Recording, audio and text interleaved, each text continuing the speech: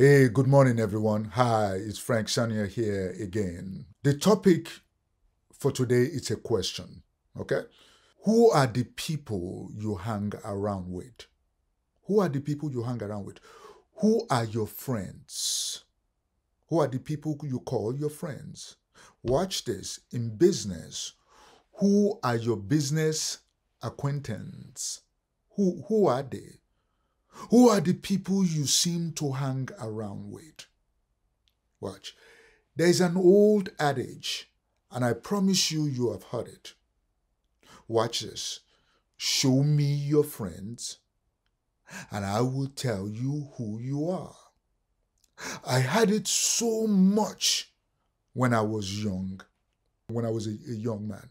My mom drilled it to me, I cannot tell you. Okay? All right? I got to a point when I got in real estate and I started studying business, I begin to hear it in another way. Watch this. You will hear something like this Show me your three, four, five closest friends of yours. Tell me exactly what their income is, and I can almost guarantee you what your average income is.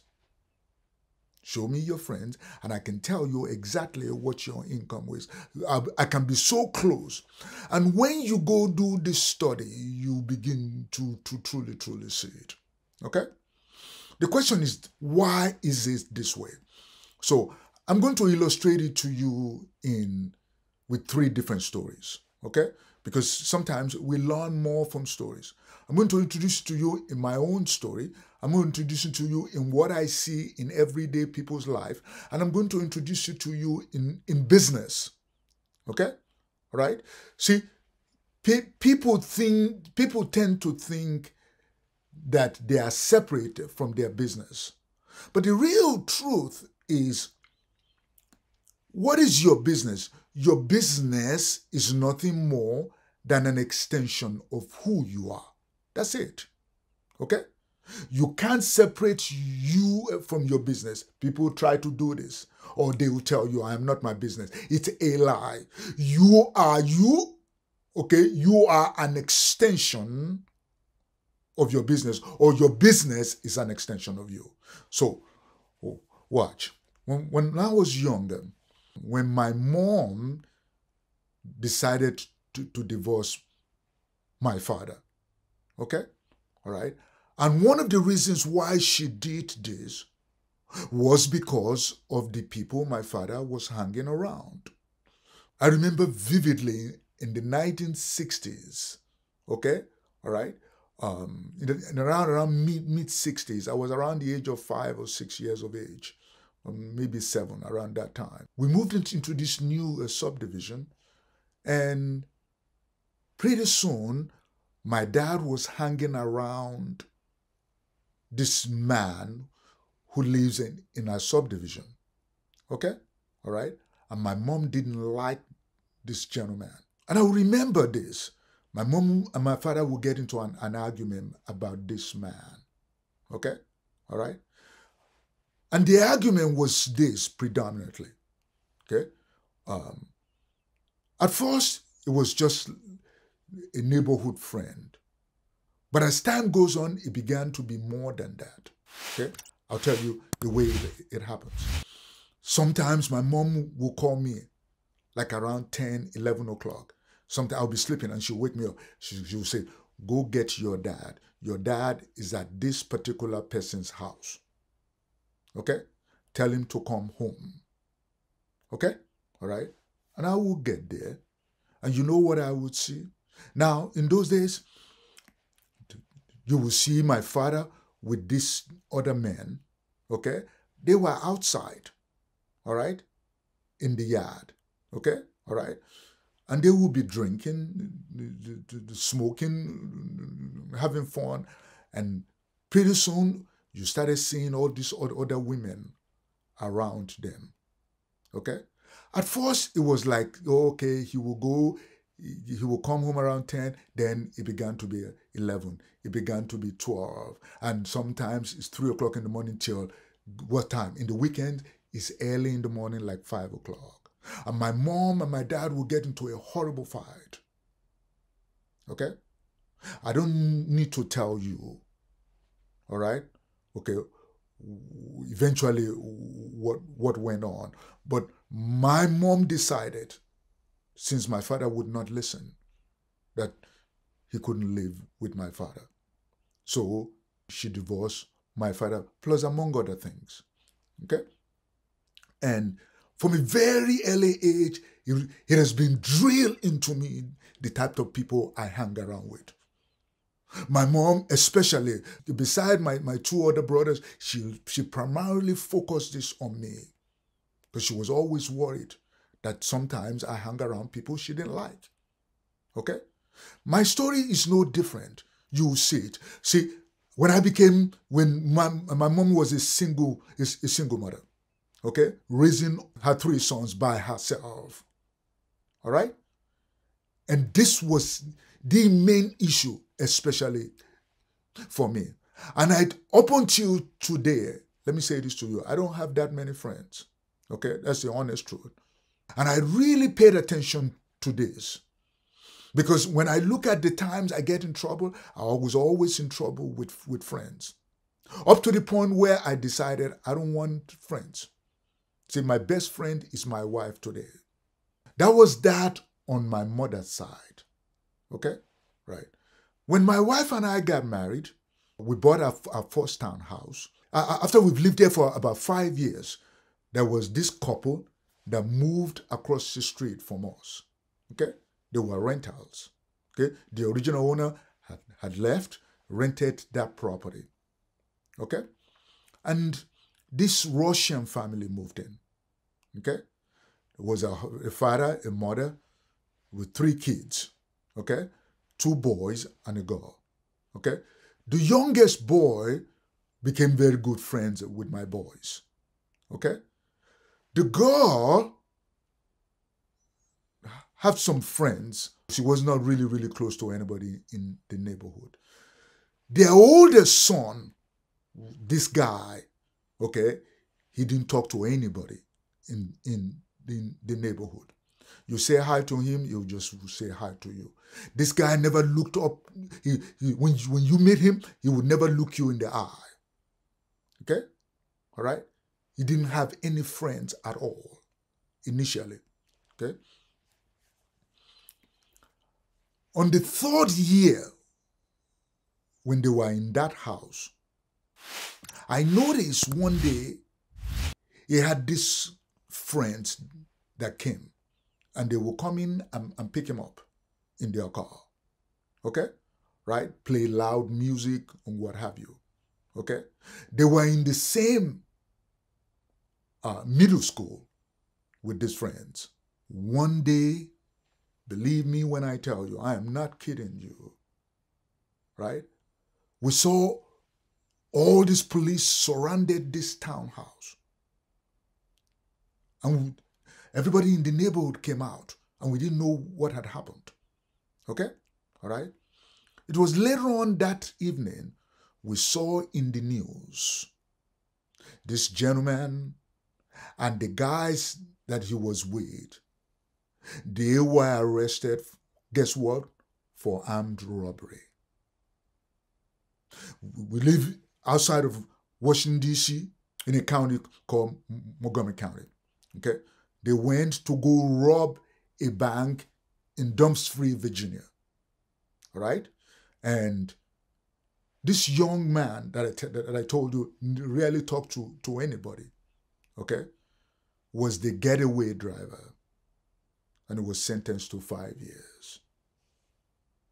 It was really, truly sad. It was, it was a sad story. Okay? From there, the, the family, they left. Because the police kept looking, okay? They kept coming, they kept looking at that family. And eventually, I guess the owner decided that he wasn't going to renew their lease. Okay? All right? And that begs me to start it really trying to study criminals. Okay? When you look at criminals, Criminals, for some reason or the other, they tend to surround themselves with criminals. Okay? All right? You will see it. Believe me, I am not kidding you.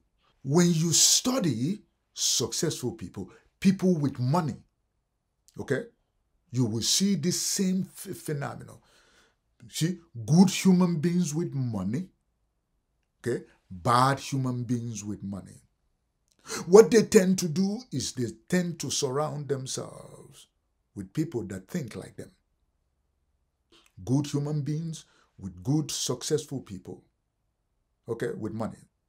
Bad human beings, same people with this. So I began to look into this. And there was a word that kept coming up that, I kept saying, and it's the word influence. Okay? All right? Okay? I've done a little bit similar video to this. Go go watch it. I wanted to know, okay, how do people get like this? Okay? At first, when I study criminals, okay, I began to see that they have, they think alike. Okay? They definitely think alike without a doubt. They see the same thing that other criminals see. Okay? When I began to look into the word infection, see, influence, infection, the same thing you begin to see. What's a human being? A human being is an infectious creature. All right? And there's a word that you see time and time again, okay? And it's the word transmission. So let me show it to you here so you understand this. I wrote down here, I said, where does the word infection comes from? Okay, right? I'm going to go through this with you quickly, all right, so you see it. I like this word. Watch this one. A word on the modern use of the term infection. Watch this. Okay? All right? I, I like this. Okay? It is a symbol with what? Contagion. Define contagion as being transmission. You see it? Okay? Right. So watch. Look at the word influence. The power or capacity to cause an effect in indirect or tangible way to sway. You see it? Watch this. To exercise influence on, affect somebody. So you begin to see it. Okay. Now, this same phenomenon you see in business. I am not kidding you. You will see it in business without a doubt. Okay? Right. One of the fastest and quickest way to scale your business, trust me eh, when I tell you, is surrounding yourself with certain types of people. First, the people you want to surround yourself with are people that do more than you. Okay? All right? Okay? These are people that are selling homes way more than you. Okay? Right? But it's not just because they are selling more homes than us. You know what we look for in them? Is their character. Okay? What kind of a character does this person have? Good human beings that list and sell real estate at a high volume, bad human beings that list and sell homes at a high volume.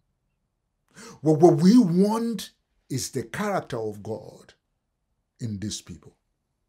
Okay? So how do, how do we do it? Okay?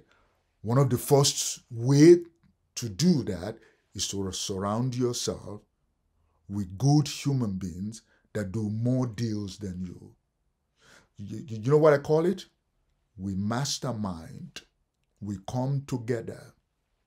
We share ideas together. You don't try to figure it out all by yourself. And trust me this, I know this to be absolutely true. If you surround yourself with people like this, your business would increase. I'm show you in, in, in another way. Take a young, poor guy or girl, okay? All right? Take them from a ghetto. Take that person from a ghetto, move them into a nice subdivision where they're exposed to knowledge. And I guarantee you this, they buy into it, they become a different person without, without a doubt. Okay? Right. I'm going to show it to you in, in another way as it relates to real life of people. I saw this one recently. I am not kidding you. All right? And you will see it. You will see a guy or a girl that is married. Okay? Has friends. Okay? All right? They're having problem in their marriage. You know, there's no marriage without problem. Okay? And what you will see the guy or the girl is begin to discuss their marriage with their friends. Okay? Oh, he or she is doing this. Now, when you look at the friends, they are either married or are not married themselves. Nine times out of ten, they are not married. And they go get their cue from their friends. And before long, you, you know it, they are no longer married. This stuff is everywhere. I'm not kidding you. You see it in a lot of families. It's, as a matter of fact, I believe it's in every family without a shadow of a doubt. So, lesson, we know that the type of people that you surround yourself with matters. Let me show you to you in the scripture. When I finally saw it in the scripture, I said to myself, My goodness, this is it. And it's in the book of Proverbs. Proverbs 1. Okay? I want to read it to you. Please, I beg you. Okay? Proverbs, watch. These are the Proverbs of Solomon, David's son, king of Israel. Their purpose is to teach people wisdom and discipline, to help them understand the insight of the wise. Their purpose is to teach people to live discipline and watch successful lives, to help them do what is right, just, and fair. These proverbs will give insight to the simple, knowledge and discernment to the young. Watch this. Like the wise listen to though these proverbs, these proverbs, and become even wiser, let those with understanding receive guidance by exploring the meaning in these proverbs and parables, the words of the wise and their riddles. Watch this one. For the fear of the Lord the fear of the Lord, the fear of the Lord is the foundation of true knowledge. But fools despise wisdom and discipline. Hmm. I love this one. I love this one. Watch this. My child, listen when your father corrects you. Right? Don't neglect your mother's instruction. I thank my mom today. Believe me, I thank her today. What you learn from them will crown you with grace and be a chain of honor around your neck. Watch this one very carefully. My child, if sinners entice you, if sinners entice you, turn your back on them. Watch this. They may say, Come and join us. Joining they'll call you. Your friends, they call you and say, Join us. let's hide and kill someone. Just for fun, let's ambush the innocent. Let's swallow them alive like graves. Let's swallow them whole. Let those who go down to the pit of death think of the great things we will get. We will fill our houses with all stuff we take. Come, throw in your lot with us. We will share the loot. Watch this one. My child, don't go along with them. Stay far away from their paths. They rush to commit evil deeds. They hurry to commit murder. Watch this. If a bird sees a trap being set, it knows to stay away. But these people set an ambush for themselves. They are trying to get themselves killed. Such is the faith of all who are greedy for money. It robs them of their life. See, let me, let me tell you something.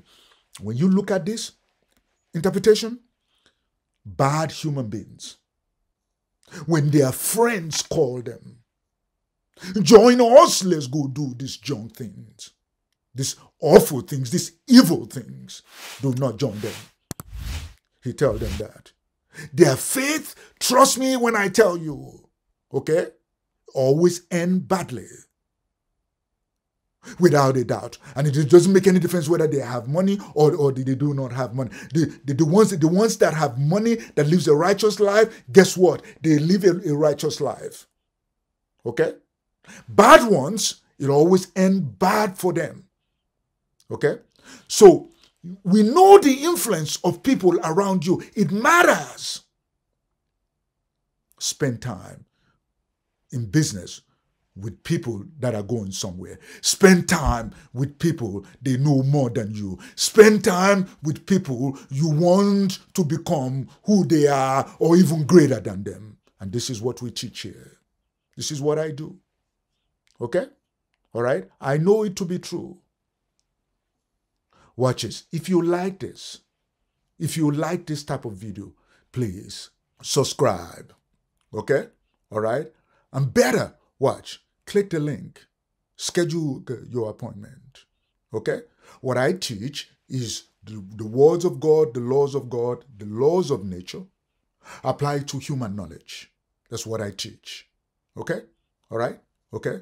Because I now know is that it is the spiritual that governs the natural. That's the real truth. And if you know, you know. If you do not know, you do not know. And trust me when I tell you, God wants to prosper you. Okay?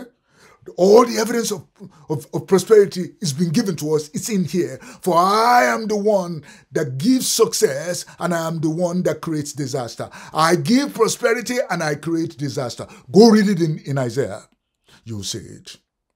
Watch. Thank you for, for watching this video. God bless you. Click the link, schedule your appointment, and I'll see you next, next week. Thank you so much. God bless, and take care now. And go crush it. Make it a profitable day. Take care. Bye bye.